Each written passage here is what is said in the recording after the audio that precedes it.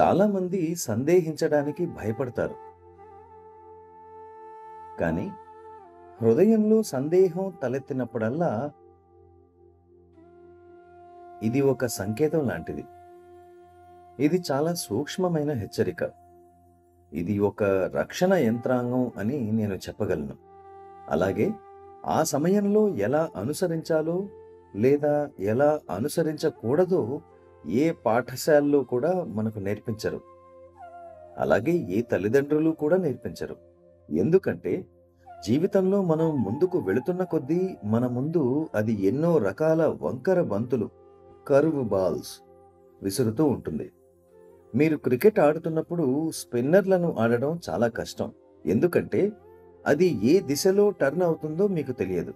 జీవిత సమస్యలు కూడా అలాగే ఉంటాయి. క్రికెట్ ఫీల్డ్లోని స్పిన్ బంతుల కంటే దారుణంగా ఉండొచ్చు. Like to share a story with you.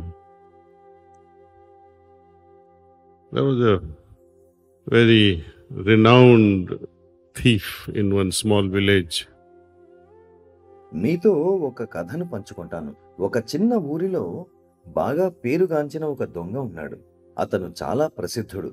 దొంగతనంలో చాలా ప్రావీణ్యం కలవాడిగా ఖ్యాతిని గడించాడు. ఎంతలా అంటే స్వయాన అతని కూతురే ఎంతో ప్రేరణతో తన తండ్రిలా ఒక పరిపూర్ణ దొంగలా తయారవ్వాలి అనుకుంటుంది.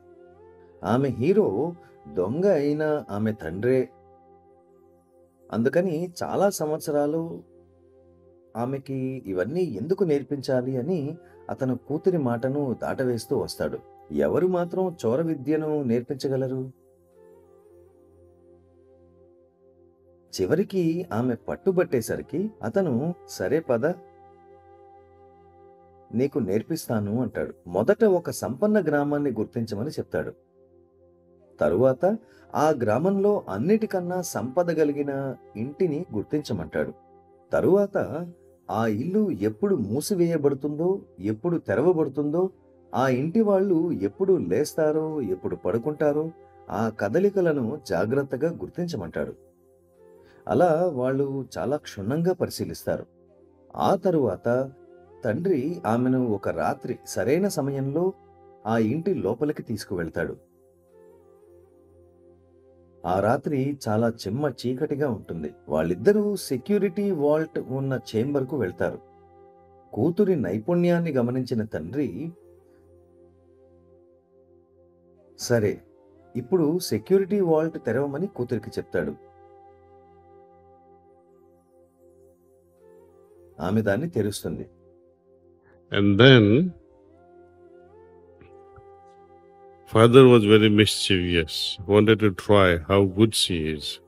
అప్పుడు ఆ తండ్రి ఎంతో తొంటరిగా తన కూతురు ఎలా తన నైపుణ్యాన్ని ప్రదర్శిస్తుందో చూడాలనే ఉద్దేశంతో సెక్యూరిటీ అలారం సిస్టమ్ను మ్రోగించి కుటుంబం మొత్తాన్ని మేల్కొలిపి తన కూతురిని ఆ ఛేంబర్లో వదిలేసి ఆమె ఇప్పుడు తనను తాను ఎలా రక్షించుకుంటుందో చూద్దాం అని నవ్వుకుంటూ ఆ గది నుండి బయటకు దూకి పారిపోతాడు. ఆమె అక్కడే చిక్కుకుపోతుంది. అప్పుడు పని మనుషులు కుటుంబ సభ్యులందరూ ఈ అలారం మ్రోగించిన వారెవరో చూడటానికి ఆ చేంబర్కు పరిగెడతారు. అక్కడ వాళ్ళు ఈ దొంగ పిల్లని చూస్తారు. ఆమె వెంటనే చాలా వేగంగా అక్కడి నుండి తప్పించుకుంటుంది. జనం ఆమె వెంట పరుగులు తీస్తారు. అప్పుడు ఆ అమ్మాయి చాలా అద్భుతమైన రీతిలో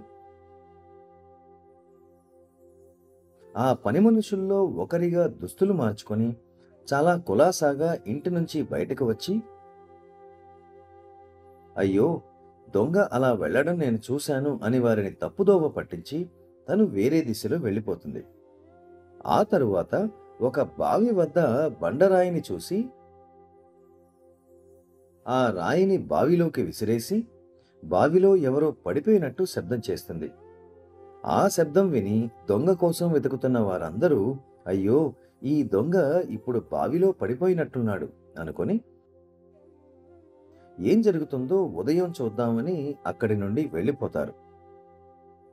ఈ దొంగ కూతురు ఒక చెట్టు కొమ్మ పైకి ఎక్కి కూర్చుంది. అంతా సద్దుమణిగిన అనంతరం క్రిందికి దిగి మెల్లగా ఇల్లు చేరుకుంది. ఇలా ఎందుకు చేశారు? నన్ను ఎందుకు వదిలేసి వచ్చారు? అలారం ఎందుకు మోగించారు? అని తండ్రిని అనేక శాపనార్థాలు పెట్టసాగింది. నా మీద కోపం తెచ్చుకోకు.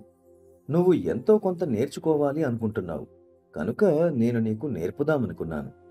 నీవు ఈ వృత్తిలో ఏ మాత్రం నెగ్గుకు రాగలవో చూద్దాము అనుకున్నాను. ఏదో ఒకరోజు నువ్వు నన్ను మించిపోతావమ్మా అన్నాడు ఆ తండ్రి.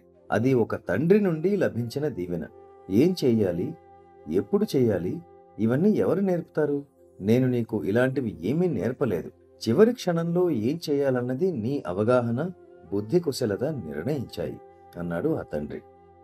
వ్యాపార సామ్రాజ్యంలో అడుగుపెట్టినప్పుడు ఇతరుల కోసం పనిచేస్తున్నా లేదా మీకు మీరే స్వంతంగా నిర్ణయాలు తీసుకుంటున్నా మీకు మార్గదర్శనం చేసేది మీ బుద్ధి వివేచన మానసిక సంతులత ఈ మానసిక స్పష్టత అనేది హృదయం నుండే వస్తుంది.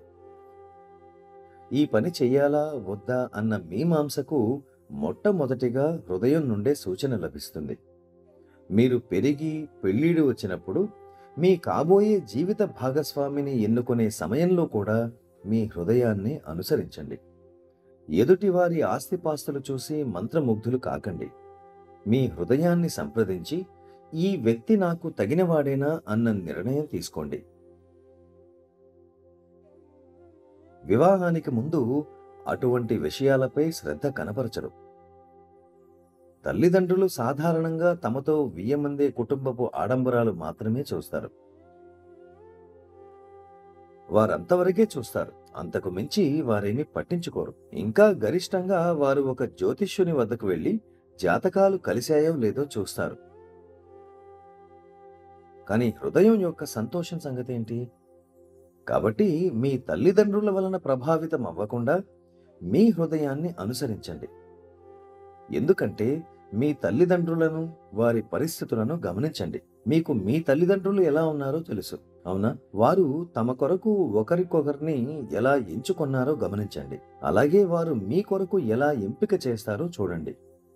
అది ఒక అద్భుతమైన విషయం. ఏమైనప్పటికీ ఎలా నిర్ణయించాలి? ఏమి నిర్ణయించాలి అనేది మనందరిలో ఉండే అవగాహన స్థాయిని బట్టి ఉంటుంది. మనం ఎంత పక్షపాత ధోరణితో ఉన్నాము? మనం వివిధ పరిస్థితులకు ఎలా ప్రభావితం అవుతాము అనే దాని మీద ఆధారపడి ఉంటుంది. చాలామంది తమ పూర్వపు అనుభూతులకు మరియు పూర్వపు పరిస్థితులకు ప్రభావితమై నిర్ణయాలు తీసుకుంటారు. మన శాస్త్రాలు అతని సంస్కారాలు అలా ఉన్నాయి కాబట్టి ఆ వ్యక్తి అలా ప్రవర్తిస్తున్నాడు అంటాయి. కాబట్టి సాధన మనకు ఈ సంస్కారాలను అధిగమించి ఎలా వెళ్ళాలో నేర్పిస్తుంది. మన హృదయాన్ని నిర్మలీకరణ చేసి అంతరంగంలో నుండి సరైన సూచనలను ఎలా పొందాలో నేర్పిస్తుంది. కాబట్టి ఒక రకంగా మీకు మీరే మార్గదర్శి అవుతారు. మనకు బయట ఎవరూ మార్గదర్శకులు మాస్టర్లు లేరు. నిజమైన మాస్టర్ మనందరి అంతరంగంలోనే ఉన్నారు. ధన్యవాదాలు.